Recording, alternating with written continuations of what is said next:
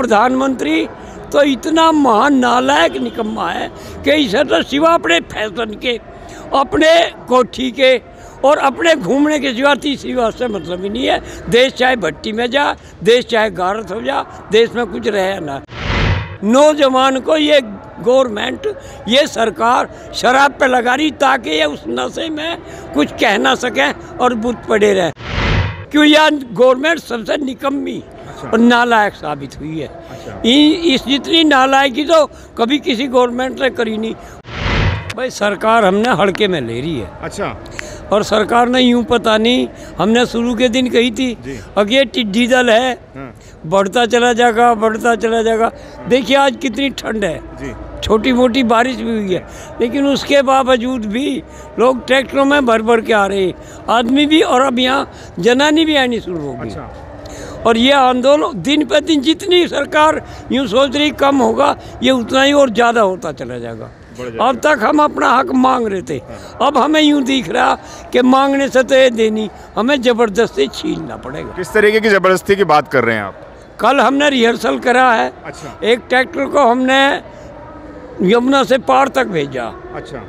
और उसको किसी ने रोका नहीं रास्ते में। अच्छा। तो हमने रिहर्सल करा जब हम चलेंगे पुलिस वाले तो अपने आप हटते चले गए कल। अच्छा। हम कुल पाँच आदमी थे उस ट्रैक्टर पे। अच्छा। किसी ने हमें नहीं रोका और हम अपनी मर्ज़ी से ही घूम के वापस आए। तो वो हमने रिहर्सल करा। भाई हमारा पार्टी से तो कोई लेना देना है ही नहीं किसी से भी। हमें तो गवर्नमेंट से लड़ना है। सन अट्ठासी में गवर्नमेंट से लड़े फिर लाल किले पे गवर्नमेंट से लड़े अब इस गवर्नमेंट से लड़ रहे। क्यों यह गवर्नमेंट सबसे निकम्मी और नालायक साबित हुई है। इ- इस जितनी नालायकी तो कभी किसी गवर्नमेंट ने करी नहीं। और ये प्रधानमंत्री तो इतना महान नालायक निकम्मा है कि इसे तो सिवा अपने फ़ैशन के, अपने कोठी के और अपने घूमने के सिवा तीसरी बात से मतलब ही नहीं है। देश चाहे भट्टी में जा, देश चाहे गारत हो जा, देश में कुछ रहे ना। लेकिन इसके ऐशोराम में कमी नहीं आनी। भाई इसका तो ये ढोंस रहा था मन की बात का। और वो था पूंजीपतियों के इसके मन में जो बात आती है पूंजीपतियों के लिए आती है। क्योंकि पूंजीपतियों से इसने पहले नोट ले लिए। अच्छा। और बिक लिया हो तो जो आदमी बिक जा ना उसे अपना वो आका दिखता है और नहीं दिखता कोई।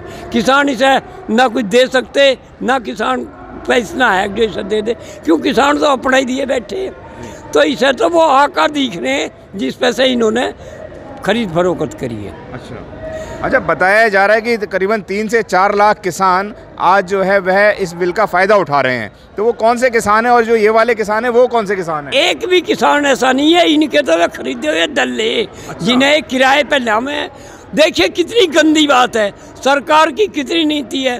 अपने यहाँ लाने के लिए पाँच सौ रुपये तय करती है दो पौए देती है शराब नौजवान को ये गवर्नमेंट ये सरकार शराब पे लगा रही ताकि ये उस नशे में कुछ कह ना सके और बुत पड़े रहे। और जो उनसे तय करके लाए जो मजदूर थे जिन्हें तय करके लाए पाँच सौ रुपये की दाढ़ी किसी को दो सौ दिए तीन सौ तीन सौ दिए उसमें भी बेईमान ना करिए जो तय करके लाए अच्छा। तो इनकी तो करनी कसनी में इतना फ़र्क है?